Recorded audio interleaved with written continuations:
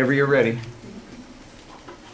Okay, so imagine you are climbing up a hundred foot rock face. You look down, your palms start to get really sweaty, your knees start shaking, your heart starts racing, and you can actually hear your heart beating. And then all of a sudden, you fall. Uh-oh. But the good news is you have a harness on, and you're connected to a belayer down below, and a rope that goes through all the carabiners. So you just pick back up onto the rock, and then you climb all the way to the top. So that was my first experience climbing outdoors. I only fell an inch, but it was the scariest thing of my life. so today I'm going to talk about, today I'm going to compare four different styles of rock climbing along with a brief history of the sport. So rock climbing has been an essential component to mountaineering for hundreds of years. It wasn't until the 1950s that this, it started to take shape as a sport. Climbers flocked to Yosemite National Valley to climb the most impressive face, rock faces in the world. According to NPR, there were two different kinds of climbers in the 1950s. There were those like Warren Harding that would do anything to get to the top of the rock. That meant hammering bolts anywhere along the rock face. They didn't care about destroying the rock face. They didn't care about the environment. Their goal was to just get straight to the top. And there are those like Royal Robbins, who is more of a purist climber. So they were leave no trace, they cared about the rock face, and they took everything that, all the gear that they planted into the rock, they took it all out after they were done with their climbs. Um, in 1987, fast forward 30 years, in 1987, the first indoor rock climbing gym was formed in Seattle, Washington, and it was called Vertical World. And that gym is still up and operating today. Right, so now that we know a little bit about the history of the sport, we're going to move into our first style of rock climbing called trad, or traditional climbing. So trad climbing, here is, um, I actually brought this in, we have some trad gear. So these are little anchors, and these are carabiners. So this is some of the um, equipment that you need for trad climbing. Um, trad climbing has no established routes along the rock face. So it requires a tremendous amount of technique and skill. So basically when you go up, you're bringing your rope, you're bringing all of your gear with you, and you usually have a team behind you. So you have to take these little anchors and securely fasten them in between little pieces of rock that seem sturdy. These trad climbers are really strong and they're really precise. Their goal is not to get to the top, their goal is the journey. When you're a trad climber, you do not want to fall off the rock face because if you do and your anchors are not sturdy, you could potentially fall seven to eight feet below and hurt yourself really bad. Um, so according to REI, up through the old days of the 1980s, trad was simply known as climbing. So there was no other kind of climbing besides trad. Okay, trad climbing can only be done on real rock. You can't do that indoors in a rock climbing gym. Now moving on to our second style of climbing, which is called sport climbing. There are two different kinds of sport climbing. You can break it down into two different categories. Okay, so climbing has these fixed anchors or fixed bolts that are bolted into the rock. So this changed rock climbing for people. It made it way more accessible. Um, according to REI, sport climbing involves high intensity climbing on relatively short routes. Its distinguished characteristics include pre-placed bolts like that, um, and an emphasis on the physical aspect of the sport rather than the destination or the summit. So you can actually climb really fast up these routes. Um, and to break down those two categories, first is top rope. So top rope is when somebody has already climbed up the route and they've create there's an anchor, they bring the rope through, they rappel down. It's pretty much the safest way to climb. You have a belayer down below and you hook into um, the rope with a figure eight and a protective knot and you just start climbing. So the belayer down below takes the rope.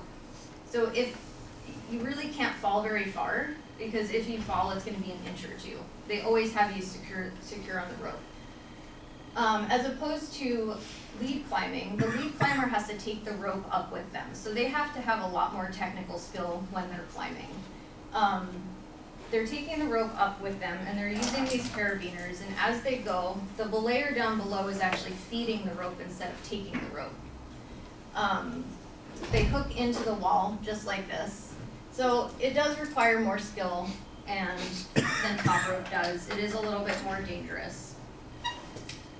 Okay. Moving on to our next kind of type of climbing, we're going to move into um, bouldering. So bouldering is often confused with soloing. The difference between bouldering is that the bouldering routes or problems, as they call them, are a lot shorter. So they're anywhere from 10 to 30 feet. Now, if solo soloing is anywhere from like 100 to 3,000 feet. Um, bouldering has routes that are commonly referred to as problems.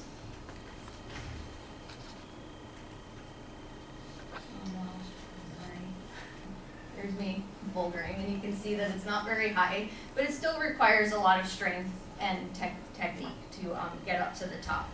So there's no gear in bouldering at all. So you've dropped all the gear except for your climbing shoes, and there's a crash pad below. Usually you have people spotting you so that they can break your fall and that you fall onto the crash pad and hopefully you don't get hurt. This is where we've lost all our gear. There's a lot more strength required, and you need a little bit more skill. It's definitely more dangerous. Has anybody ever seen or heard of the movie uh, Free Solo? Okay, so free solo is free soloing is the most dangerous. Alex Honnold is the most dangerous type of climbing, and very few attempt free soloing. Um, on June 3rd, 2017, Alex Honnold became the first person to solo El Cap, which is a 3,000 foot vertical wall in Yosemite National Valley. Now some people think he's totally crazy for what he did, but according to National Geographic magazine, Alex Honnold free soloed the Freerider route on El Cap, Yosemite's 3,000 foot southwest face. He completed the route in less than four hours. Honnold spent a year choreographing thousands of precise moves to get through a gauntlet of physical and nerve testing challenges. And according to Free Solo, the movie, when he was discussing or when he was talking about this, doing this climb, he actually spent eight years perfecting each part of this climb.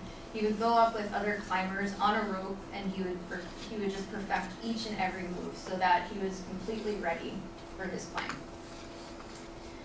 So now that we've discussed a little bit about the history of rock climbing and the four different styles of rock climbing, it's best to start climbing and practicing in a gym. It's the safest way. Um, and maybe one day I will see you at a gym or on the Real Rock Outdoors. Thank you.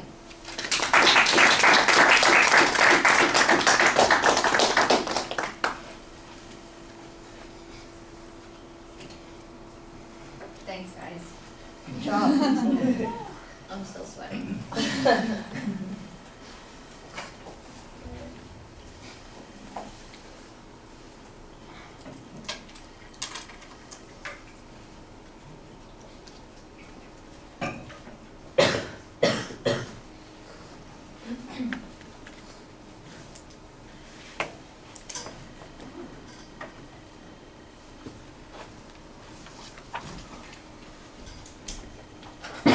Cadence, what did you think? I thought it was really good. It was difficult for me to find things to improve. But the strong points, um, I thought the introduction was phenomenal and it was really easy to visualize. Uh, there were a lot of references and citations and they were very evenly put throughout.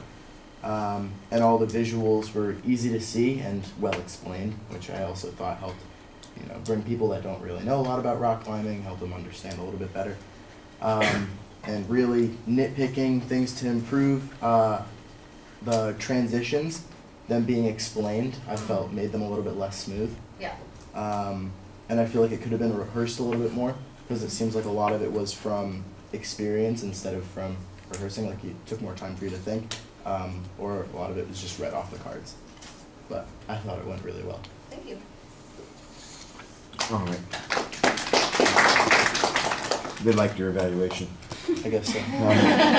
Um, you know what? I'm gonna I'm gonna agree with everything Caden said. I thought it went really well. Uh, just a couple of minor things, and they were they weren't even that significant. I think the preview is a little bit more ambiguous than you want it to be. You might want to tell us what the four different styles are in the preview. You just say, "I'm going to talk about these four different styles," and kind of give us some sense of where you're going. The transitions, that was another thing that I kind of picked out. I think they could be a little bit smoother. It's not that they were unclear, it's just sometimes they weren't as graceful as they might have been. Um, otherwise, I thought everything else was really solid. I, I consistently heard information being presented in the speech. The source citations were good. Uh, the visuals I thought were integrated in the speech quite well. Although I was anticipating it coming a little bit earlier, it showed up when you were talking about it, which was perfectly fine. Um, and the first question that popped in my mind when, when you were talking was, were you more nervous about giving the speech than you were climbing rocks? Because it seemed like that's the, I mean, that whole opening description that you went through, you know, you seem like, oh, that's a piece of cake, and here you are sweating about giving your speech, and that just just seemed like an odd juxtaposition of situations there. Yeah. All right, thank you.